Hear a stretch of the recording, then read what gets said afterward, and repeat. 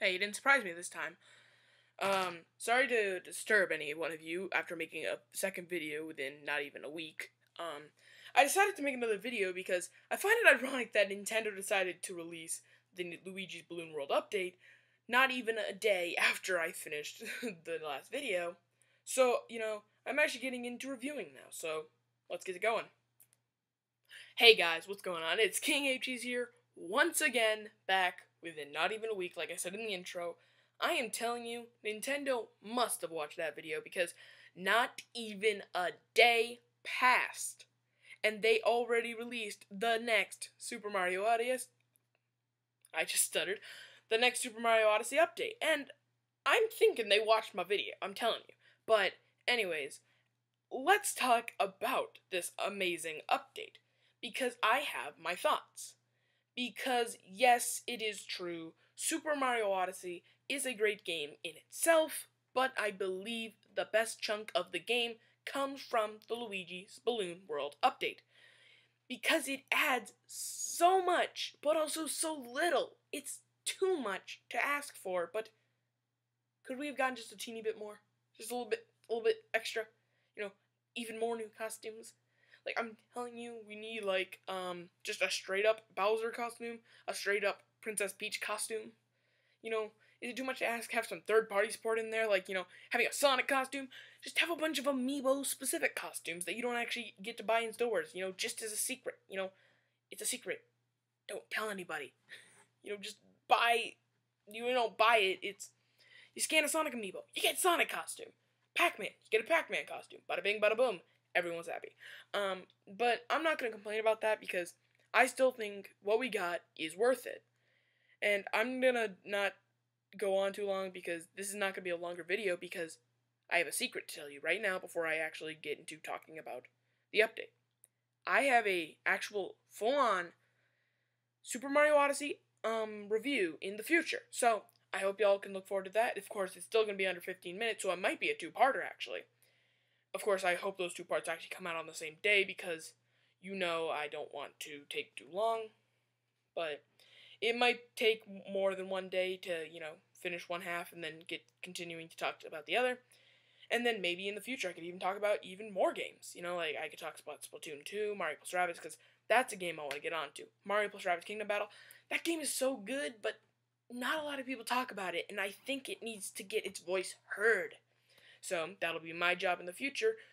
And I hope all of you get excited, but do not think it's going to be in the same week. You know, I'm not going to start, I'm not going to upload this new Super Mario Odyssey video like tomorrow. No, no, no, no. That's not happening.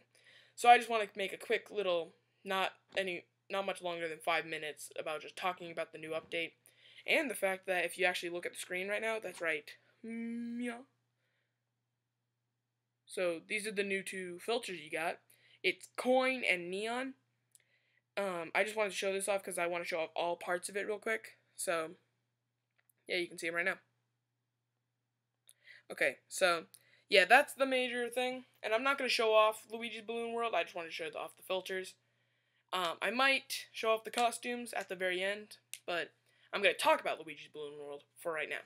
So, Luigi's Balloon World is actually a really fun mini game that doesn't reward you power moons. However, it rewards you with fun times and stars. Yeah, you get stars, but not power stars, just stars.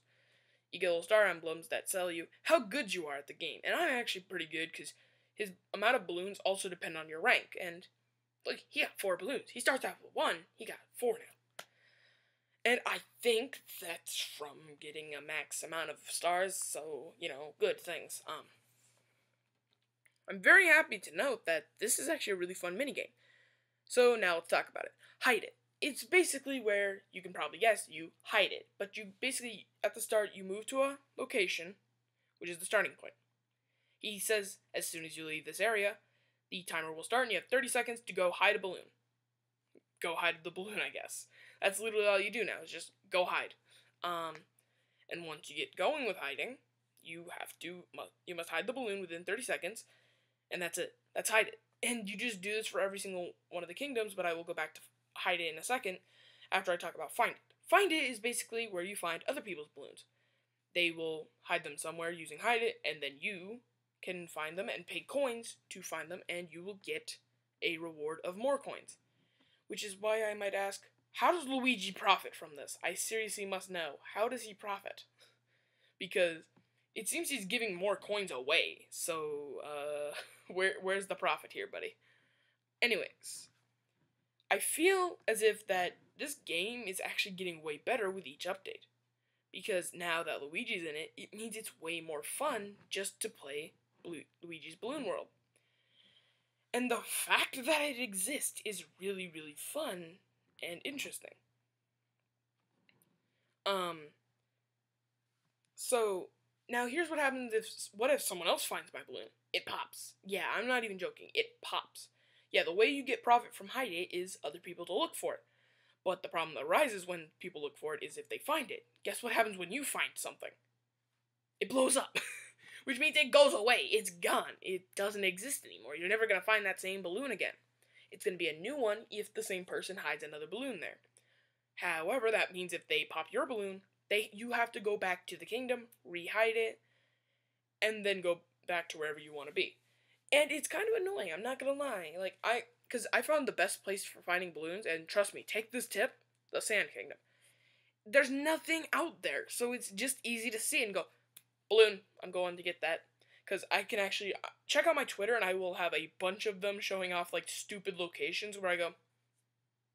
And other ones where I will show really good locations I found that I either saw noticing because if it's out in the open but it's in a cool spot, I might show it. Because I saw one today that looked like a cactus. Because there are a bunch of round cactuses in the Sand Kingdom. And I noticed that I only noticed it because I was going back and forth between two sets of balloons and I saw it kept appearing at Instagram. I'm like, that is a great spot. It it did not look like a balloon. It looks like a cactus because it same coloring ish and it was from a long distance, so I couldn't tell that it was a balloon and not a cactus. So I'm gonna I'm not gonna lie, that was a good spot.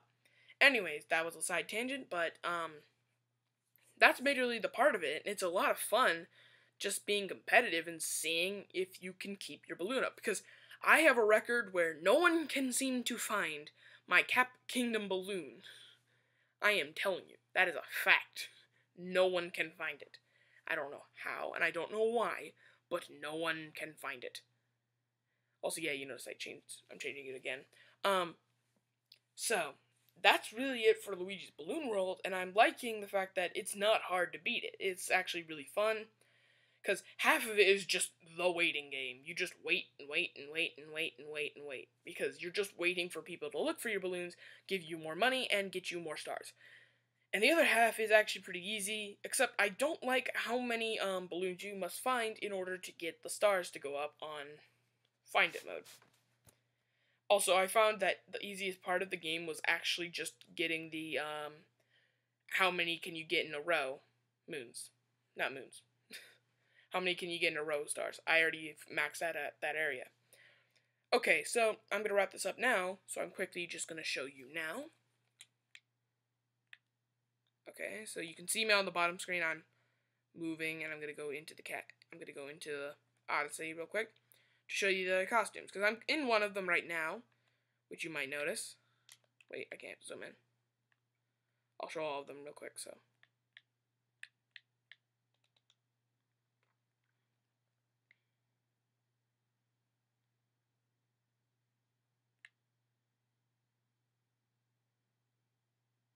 Sorry if I'm quiet. I just I have to show these off. These are so good. I'm not showing all of them in the actual update. Not in the actual update, in the actual review. Because there's too many. I can't do that. But I would love to show you a few of them because these are actually really cool ones that they made just for the update. Like this is a musician costume. Also, I don't I'm not going to show you the other one I had the entire time, which was actually the Mario Sunshine outfit. And my personal favorite of the new ones is the knight outfit. I'm telling you, whoever created this is a genius. And if you need to look at them in better detail, because, you know, I don't have great quality in my camera, but if you want to check it out, go ahead and check out the Nintendo YouTube channel. It's actually really cool. They have it shown off there, so yeah. So, I guess I will see you all in the next video. And do be on the lookout for the next Super Mario Odyssey review. So I will see you all later, and bye-bye, and sorry for making this video so much longer than it had to be.